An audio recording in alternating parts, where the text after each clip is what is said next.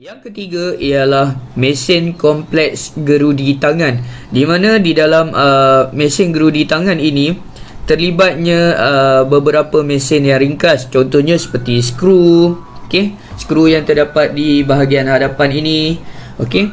Uh, roda dan gandar. Okey roda dan gandar ialah di kawasan ini.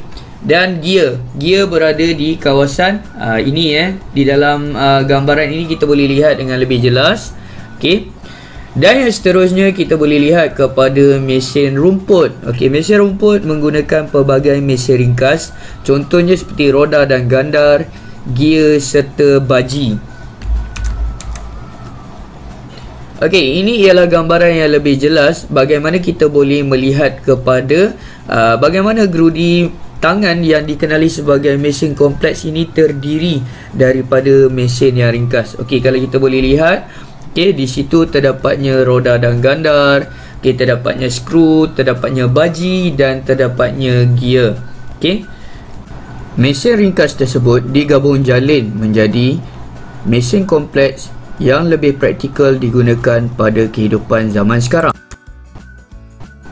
Okey, sekarang ni kita beralih kepada penciptaan mesin yang lestari.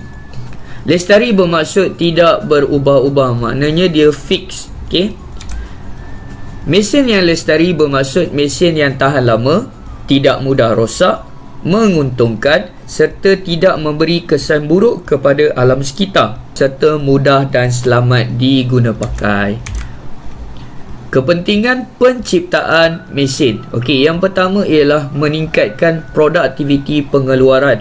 Okey, seperti yang kita belajar pada awal topik, Okey, mesin ni diguna pakai untuk memudahkan dan mempercepatkan sesuatu uh, penghasilan produk dihasilkan.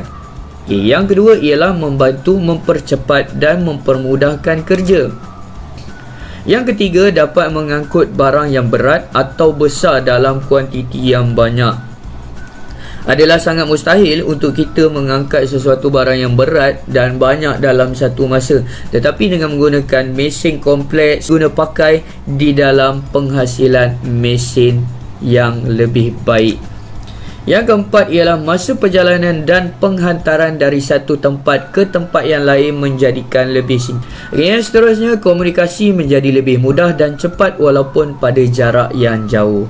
Okay tak semestinya kita duduk dekat uh, Malaysia kita tidak boleh berhubung dengan orang yang berada di luar negara. Itu juga memudahkan komunikasi kita.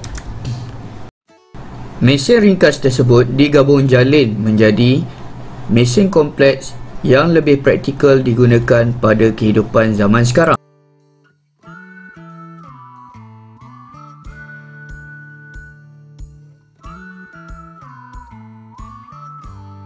Assalamualaikum. Bye.